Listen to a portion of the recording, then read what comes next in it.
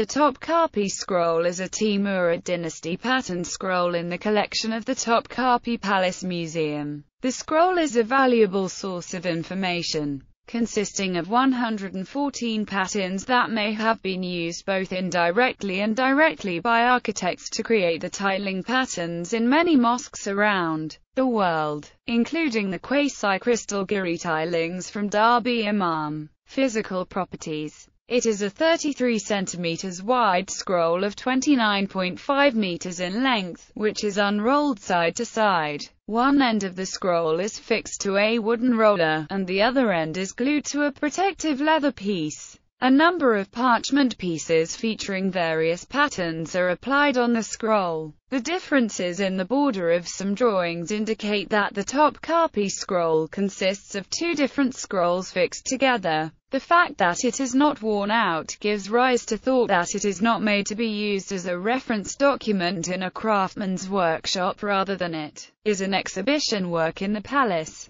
It was probably a record of tiling works carried out in the palace. The scroll was made by one person only. Most of the patterns were drawn on two pieces of parchment that were put together, and then pasted on the scroll. The placement of the patterns on the scroll is somewhat disorganized. Patterns of similar themes are fallen apart, and some patterns formed on two parchment pieces are combined imperfectly. The stamp on the scroll, H1956, indicates that it is registered in the inventory of the Topkapi Palace's Treasury Department. An edition of the scroll was published with an extensive commentary, but it is now out of print. History the top Topkapi scroll was presumably prepared in Iran during the Safavid dynasty in the end of the 15th century or beginning of the 16th century. A similarity between some of the patterns on the top Topkapi scroll and a tile panel in the Jami Kabir Mosque in Yazd indicates that this scroll was created in Tabriz. On the other hand, it is possible that the scroll was made in Shiraz because it consists of mainly muqarnas in the form of a handheld fan referred by Jamshid al-Kashi as Shirazi. It may be looted by the Ottomans after the Ottoman Safavid War. The muqarnas on the scroll, which are mostly in the form of a handheld fan, reflect the architectural style of Timurid dynasty. Turkmen people in Iran and Central Asia. In contrary, the muqarnas in Cairo are in the form of seashell. The top Topkapi scroll was discovered in 1986. Gülru Necipoğlu of Harvard University published a book, which describes the scroll with copies of its patterns. The book was translated into Persian language by Mehrdad Qayyoomi Bidhendi under the title Handasa Virginia Tazayada Mimari Islami. Tomari Topkapi. Content the scroll consists of 114 geometric patterns drawn in ink and dye. It displays decorative ornaments found on the walls and domes of structures built between the 10th and 16th century in the Timurid dynasty.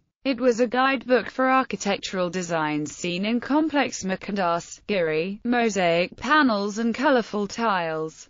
The scroll does not mention how those patterns are constructed, and has no date or signature. The two-dimensional figures make it unclear how they can be employed to three-dimensional ornamental objects. One of the characteristics of the top Topkapi scroll is that it includes Arabic calligraphy called square or geometric Kufic. This script type was seen for the first time in the state of Ilkhanate and it was presumably created in inspiration from Chinese characters in rectangular form. One of the patterns on the Topkapi scroll, which matches an existing architectural structure, is a Kufic script drawn for Bana in which tiles are alternated with plain bricks to create geometric patterns over the surface of a wall. Greater than almost exactly the same of this pattern is found on the gate of a mosque in Varzaneh. Some of the patterns show the application of geometric principles to Islamic traditions.